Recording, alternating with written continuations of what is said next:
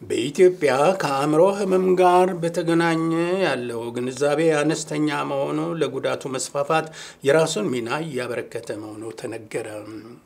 በዓለማችን ከአራት ሰዎች አንዱ የስነ ልቦና አሊያም የስነ አእምሮ ጤና ችግር ሰለባ ሊሆን እንደሚችልም የዓለም ጤና ድርጅት መረጃ ያመለክታል።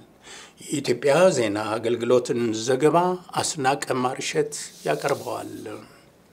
በኢትዮጵያ አብዛኛው ማህበረሰብ በአእምሮ ታማሚዎች ላይ የተሳሳተ ትርጉም በመያዝ መገለል የሚያደርስ መሆኑን ባለሙያዎች ይናገራሉ። በቅዱስ ጳውሎስ ሆስፒታል ሚሊኒየም ሕክምና ኮሌጅ የስነ አእምሮ ትምህርት ክፍል ሳይኮሎጂስትና መምህር ሶሊያና ግዛው በአእምሮ ህመም ዙሪያ በማህበረሰብ ዘንድ ያለው የተዛባ አመለካከት ለማስተካከል ብዙ መሰራት ይጠይቃል ይላሉ። በህብረተሰቡ ዘንድ በአብዛኛው ለአእምሮ ሕክምና የሚሰጠው ቦታ ማነስና የተሳሳተ አመለካከት መያዝ ለችግሩ መባባስ ምክንያት ሆኗል ብለዋል። የአእምሮ ሕክምና እንደ ማንኛውም በሽታ ታክሞ የሚድን መሆኑን የገለጹ ባለሙያዋ ታማሚዎቹ የቅርብ ክትትል ማድረግ እንዳለባቸውም ጠቁመዋል። ማህበረሰቡም በአእምሮ ታካሚዎች ላይ እብድ የሚለውን የተሳሳተ መጠሪያ በመተው የአእምሮ ታካሚዎችን መደገፍ እና መንከባከብ ይገባል ብለዋል። እኛ ሀገር ያለውን ነገር ስናይ ብዙ ጊዜ ስለ አእምሮ ህመም ያለን አስተሳሰብ ትንሽ ደካማ ነው።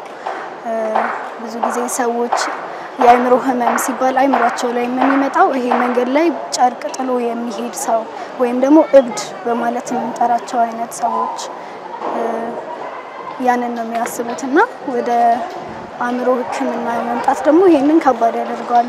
የአእምሮ ሕክምና በእምነትና መንፈሳዊ ሕክምና ብቻ ነው የሚድነው በሚል ዘመናዊ ሕክምና እንዳይከታተሉ ማድረግም ተገቢነት እንደሌለው ጠቁመዋል። የአእምሮ ህመምተኞችን በማቅረብና ማህበራዊ ድጋፎችን በማድረግ ማህበረሰቡ የድርሻውን እንዲወጣ ጠይቀዋል። ብዙ ጊዜ ከእምነት ነገሮች ጋር የማያያዝ ነገር ሊኖር ይችላል።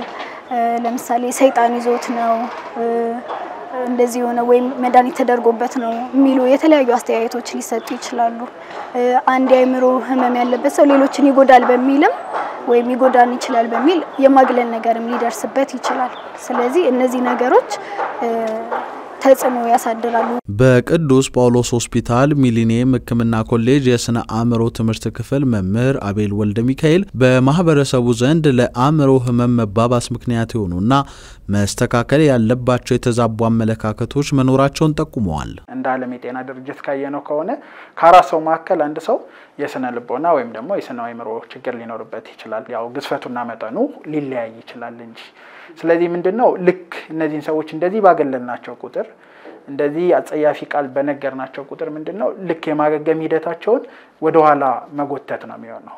ምንድን ነው ተስፋ መቁረጥም ያመጣል፣ ያላቸው ሞራልንም ይቀንስባቸዋል ማለት ነው። ስለዚህ ልክ እንደዚህ ከምናደርግ በመልካም ጎኑ ብንደግፋቸው ምናልባትም ምን ይሆናል ለእነሱም ለውጥ መልካም ይሆናል። ለማህበረሰቡም ደግሞ የራሱ የሆነ አስተዋጽኦ ይኖራል። በብዙዎች ዘንድ የአእምሮ ህመምን የሰይጣን ስራ አድርጎ በመውሰድ ወደ ዘመናዊ ሕክምና ለመውሰድ በስፋት ይስተዋላልም ብለዋል። ከበሽታው ለመዳን የእምነትና ባህላዊ ሕክምናዎች እንዳሉ ሆነው ማህበረሰቡ ለዘመናዊ ሕክምና ትኩረት እንዲያደርግም መክረዋል። በኢትዮጵያ የአእምሮ ጤና እክል ካለባቸው ሰዎች መካከል ዘመናዊ ሕክምና ለማግኘት የሚሄዱት ከአስር በመቶ ያልበለጡ መሆናቸውን መረጃዎች ያመላክታሉ በዓለም አቀፍ ደረጃ በአንድ ቤተሰብ ውስጥ ከሚኖሩ አምስት ሰዎች መካከል አንዱ የአእምሮ ጤና እክል ችግር ሊያጋጥመው እንደሚችልም ይነገራል።